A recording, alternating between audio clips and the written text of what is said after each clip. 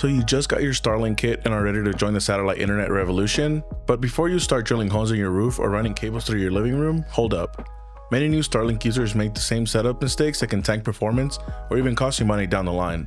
Today, I'll walk you through the most common Starlink setup mistakes and how to avoid them. Welcome back to our channel. I'm Alejandro from Broadband Now, where we review internet gear and help you get the most out of your setup. If you're about to install Starlink, this video will save you some headaches. If you'd like to see more Starlink content or router reviews, don't forget to like this video and subscribe to our YouTube channel. Turn on your notifications so you don't miss out.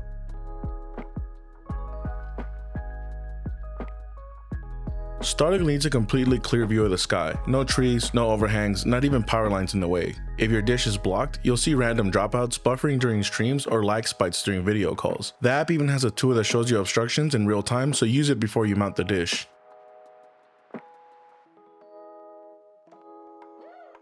Some users try to keep the dish low for convenience, like in the backyard or on a short stand. That might work short term, but Starlink was designed for rooftops or poles with a wide open sky. Low placement means more interference, snow buildup, or even curious pets missing with your cable.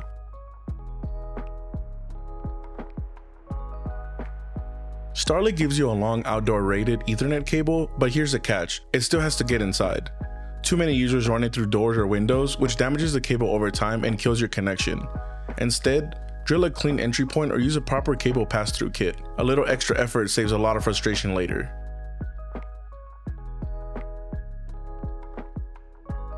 The Starlink dish and cable are weatherproof. The router and power supply, not so much. They need to stay indoors. If you leave them outside, even under a covered patio, you're asking for water damage and expensive replacements. Keep those pieces inside where they're dry and safe.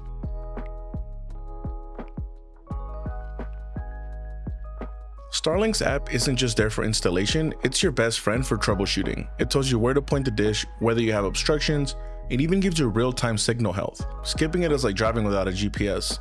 Always use the app during setup and check it again if your connection drops later. Quick tip, test your speeds right after setup in multiple spots around your home. If you see sudden drops, it's usually a placement or obstruction issue, not the dish itself. So here's the bottom line. Starlink works best when you set it up right the first time. Avoid obstructions, mount it high, plan your cable entry, keep the router indoors, and don't skip the app. Do these things and you'll get the fast, stable satellite internet Starlink promises. Thanks for watching. If you found these tips helpful, hit the like button and don't forget to subscribe for more internet product reviews and troubleshooting guides. See you next time.